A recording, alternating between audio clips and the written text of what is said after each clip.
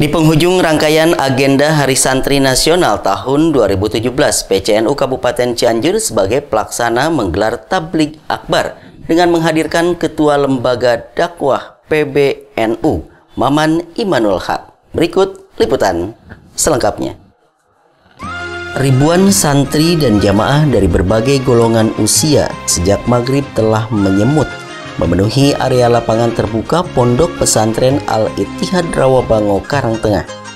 Mengawali acara tersebut, Mustamiin dibuat terpukau dengan sajian lagu-lagu religi persembahan grup kasidah modern yang sudah tidak asing lagi kemasurannya. Diikuti dengan agenda pelantikan pengurus IPNU dan IPPNU Kabupaten Cianjur.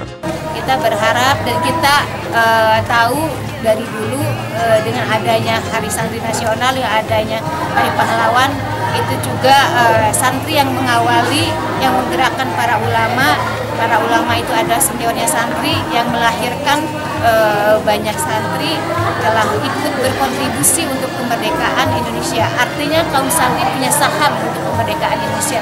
Dan hari ini santri hari ini mungkin tidak terlalu berat perjuangannya dengan santri zaman dulu yaitu mengangkat senjata, harus bersimbah darah, mengusir penjajah.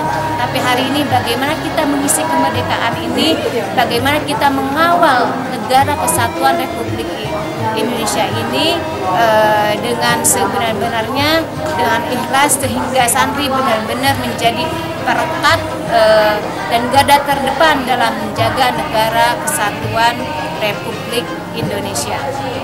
Lalu apa yang menjadi harapan Wakil Ketua Roy Surya pada rangkaian Hari Santri Nasional tahun 2017?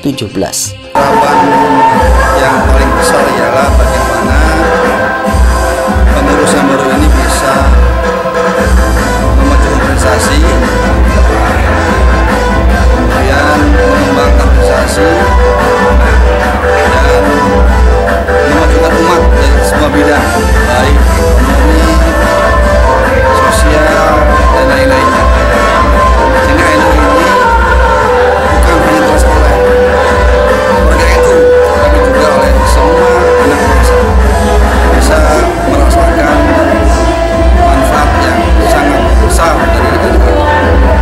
Mauiloh Hasanah sebagai penutup rangkaian acara Hari Santri Nasional PCNU Kabupaten Cianjur disampaikan oleh Ketua Lembaga Dakwah PBNU Maman Imanul Haq. Kalau dilihat dari sudut kuantitas maupun kualitas eh, kegiatan yang dilaksanakan tahun ini banyak sekali peningkatan.